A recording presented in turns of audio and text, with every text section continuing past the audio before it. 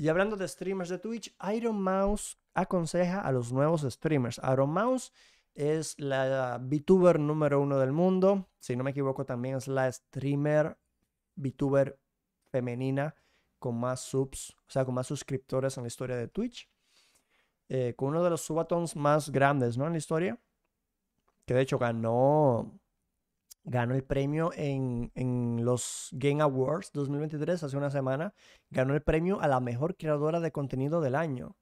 Lo cual me parece una locura, ¿eh? Pero bueno, para mí Kai Senat debía ganar todo. Pero bueno, se lo dieron a Iron Mouse. No tengo nada en contra de eso, pero lo importante es el mensaje que ella ha dado a los nuevos streamers. Esto ella ha dicho a los nuevos streamers. Inicien pequeño. Es lo que ella ha dicho. En una entrevista recientemente, inicien pequeño. Creo que el peor error que puedes cometer es pensar que necesitas mucha tecnología extra para empezar. Exactamente. Con un celular, con un celular, ya tú puedes ser streamer. ¿Cómo? Te pones Twitch o pones YouTube y le das en vivo y haces stream en tu celular. ¿Qué tal? Obviamente la experiencia no es la mejor, pero puede serlo. Empieza a hacer stream, si quieres hacer streaming, empieza poco a poco y aprende sobre la marcha. Exactamente. Continúa diciendo, es una experiencia de aprendizaje, no pienses, tengo que ser como este o este otro streamer que tiene una configuración muy cara. Empieza poco a poco y ves si realmente te gusta y si lo haces, sigue adelante y construye y será un viaje muy muy satisfactorio, creo. ¿Ok? Quiero decir, sé tú mismo cuando puedas conseguir un buen micrófono. Y sé que mucha gente empieza, y sé que cuando mucha gente empieza, ni siquiera usa un modelo VTuber. Empiezan con un gráfico. Trata de ver qué tipo de personaje y qué tipo de streamer quieres ser. Y haz que eso dicte por dónde vas a ir. Siento que es muy parecido hay muchas similitudes porque al fin y al cabo todo es streaming, ¿me entiendes?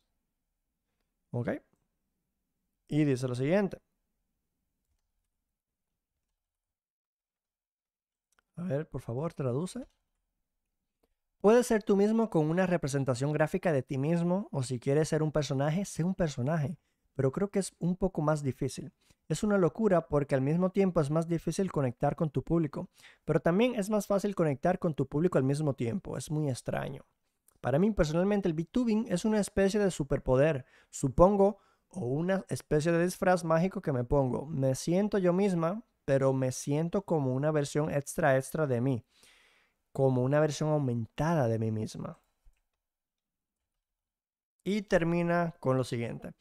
La yo que me siento segura de ser y siento que eso es algo muy especial, no sé, siento que es realmente especial poder sentirme como, oh, puedo básicamente conectar con toda esta gente y pasarlo bien y simplemente crear contenido y con suerte a la gente le gusta. Claro, el tema del B2B ya es un tema muy difícil, pero realmente comparto todo lo que ha dicho Kero Mouse, o sea, si quieres ser streamer, tienes que empezar con lo que ya tienes, o sea, sin más. Obviamente importa mucho el internet, la capacidad de internet que tengas, porque sin internet obviamente no puedes estar en directo, pero este, yo no daría el consejo tampoco de, lanzarse como streamer de una vez, si es que ese es tu sueño, porque es muy difícil, es muy difícil. Es mejor ser TikToker o YouTuber o Instagramer antes que ser streamer es más fácil y ya después al final haces streamer. Yo que soy un loco y hago streaming primero. Aunque no, mentira, yo hago de todo un poco. Pero mi enfoque es más el streaming porque es lo que más me gusta.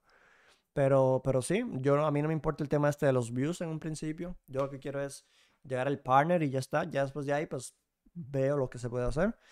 Pero hay mucha gente que sí, el tema de los números les vuelve locos. Así que el ser streamer no es nada fácil. Obviamente es más fácil que un trabajo convencional, un trabajo tradicional mil veces. Pero pues tienes que tener eh, la cabeza ready, lista para el mambo, porque no es fácil tú dar una opinión y que te funen por dar una opinión como a mí. O sea, yo doy opiniones aquí y hay videos y videos que me han funado y me, me decían de lo peor del mundo y, y aquí estoy. O sea, no, no todo el mundo tiene la capacidad de, de, aguantar eso, de, o, han habido veces que estoy narrando una transmisión en directo. Por, ejemplo, este sábado voy a estar yo le voy a Colby, seguramente hay muchos que me van a decir, Lichal, eres un estúpido.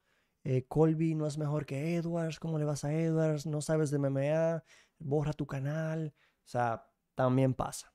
Pero es lo que es.